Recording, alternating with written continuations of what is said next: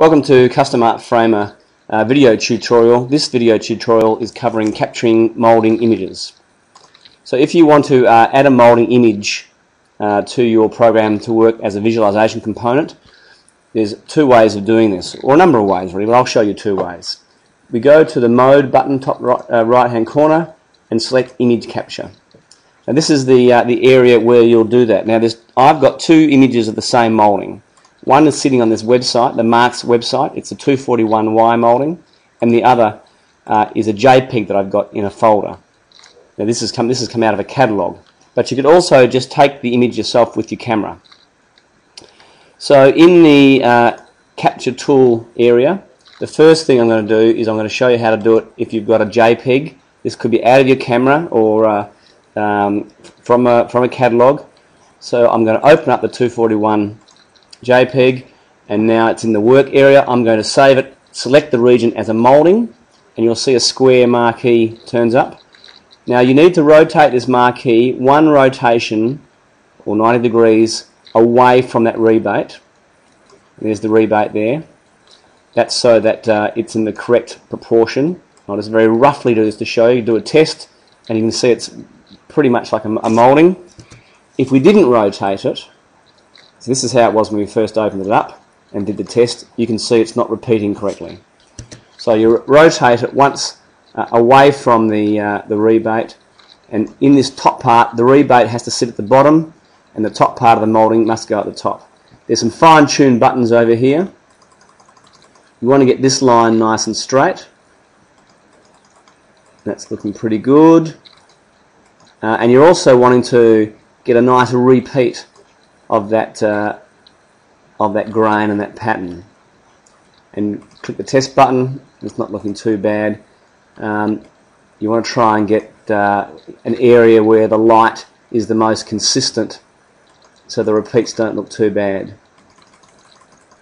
And you're better off having these uh, the marquee way in, a little bit inside the molding rather than outside the molding so that's looking pretty good. I'll save that now as a file save it as an image file. Now you have to save it in the correct uh, folder, which you go to My Computer, C Drive, Program Files, Custom Framer Art, DB, RES, Moldings, and now it sits in there. Now it has to have exactly the same name as the molding catalog name. And this program can't cope with dashes or dots, so they're all taken out uh, if there's a, a, a moulding has a dash in its name, the dash has been taken out and the moulding will just have the, the letters and numbers. This is 241Y. Um, it'll go to JPEG automatically. I'll save that. There's already one in there, so I won't replace it, but you'll click, um, uh, you won't say, you'll just click yes. The next thing you do is get capture an image of this profile down the bottom. So you want to select this as an image open that marquee out you can test that. And you've just got one nice uh, image of the profile we'll save that as a file. That's going to go almost in the same place. Program files custom art framer db res moldings and now into profiles. And it'll have the same name but start with a P this time. P241Y and I'll save it. And again, I've already got one, so I won't replace it. Now, what we've just done uh, is this. If you look at the molding database, it takes a little while to open up. I'm going to show you uh, what those images look like.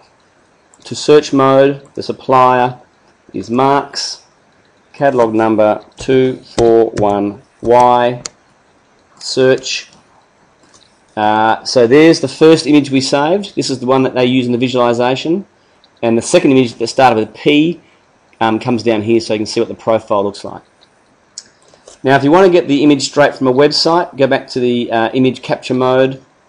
And this time, instead of clicking on camera or files, we'll go to the uh, add capture screen, more, screen capture, open program. Now you must have your website uh, open with the molding you want. I'll just try that again. I'll, and I'll close uh, that JPEG first. Now there's my website open. screen capture open program and there it is it opens at the marks and I'll use the crosshair to define the area that I want to drag into the uh, work desk and there it is so first of all and now you just repeat what you did before so first of all saving the region as a molding rotating once away from the rebate and trying to get some uh, some good re uh, good region of uh, repeating pattern. Fine tuning top right hand corner do a test doesn't look too bad. So then you'd save that as a file image file. Uh, you would then go back to program files custom framer art DB RES moldings and you'd put it in there again giving it exactly the same name as the molding catalog name. So I hope that uh, is a useful video tutorial for you. If anything isn't very clear in that please let me know and I'll do a repeat or a follow-up. And if you have uh, any other tutorials you'd like to see just let me know. Thank you